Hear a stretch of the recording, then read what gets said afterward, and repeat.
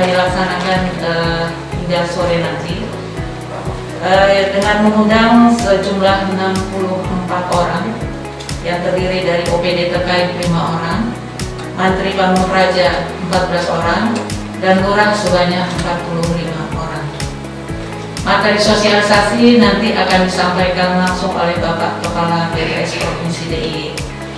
Dan tentunya kami mengharapkan arahan sekaligus uh, membuka kegiatan ini oleh Bapak Sekda. Demikian yang dapat saya laporkan. Terima kasih. Assalamualaikum warahmatullahi wabarakatuh. Kemudian yang tidak terpisahkan dengan proses sensus penduduk tahun 2020. Artinya apa? Bahwa kegiatan sensus penduduk 2020 lanjutan ini adalah sesuatu yang besar kemungkinannya memperdalam materi-materi yang sudah tersajikan di tahun 2020.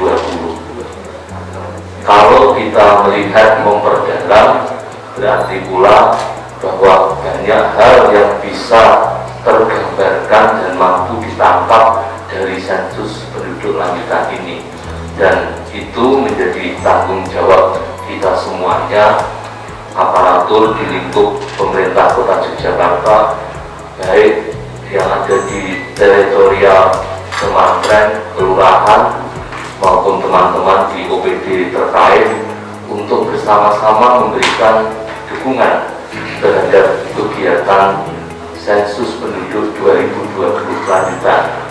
Karena dari situ akan menghasilkan sesuatu yang penting artinya bagi kita semuanya dan saya tadi mendapatkan gambaran insya Allah dari sensus penduduk 2020 lanjutan akan tergambarkan suasana demografi penduduk saat ini secara lebih tinggi resolusinya begitu dan patut dipertanggungjawabkan akurasinya sehingga tentu semua hal yang nanti akan dihasilkan besar atau kecil dipastikan punya manfaat bagi kepentingan semuanya termasuk kita di pemerintah Kota Yogyakarta dalam kerangka menjadikannya sebagai referensi dan materi untuk menentukan arah kebijakan pembangunan kita semuanya.